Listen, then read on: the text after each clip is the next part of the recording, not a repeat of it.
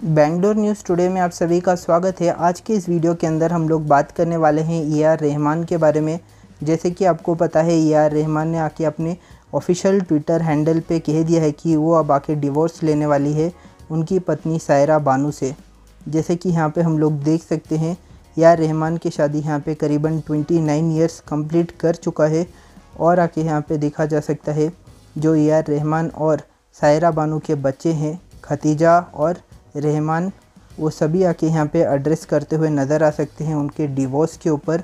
और देखा जा सकता है कि ये सब कुछ सच है और उनके जो बच्चे हैं,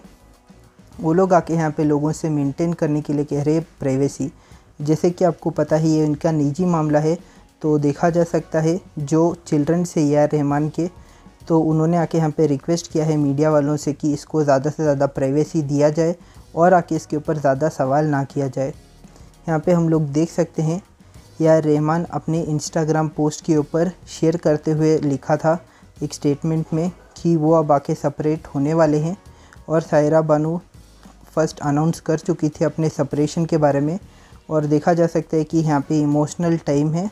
या रहमान का ये कहते हुए नज़र आ सकते हैं।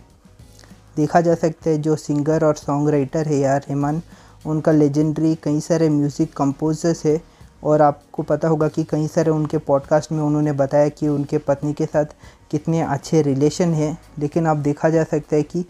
कुछ प्रॉब्लम होने की वजह से वो अब आके यहाँ पे डिवोर्स फ़ाइल करने वाले हैं। और भी कोई अपडेट आता है तो आपको इस चैनल के अंदर मिल जाएगा। उम्मीद है कि आपको कुछ नया जानकारी मिला होगा। मिलते हैं अगले वीडियो में। Thank you for watching this video guys thank you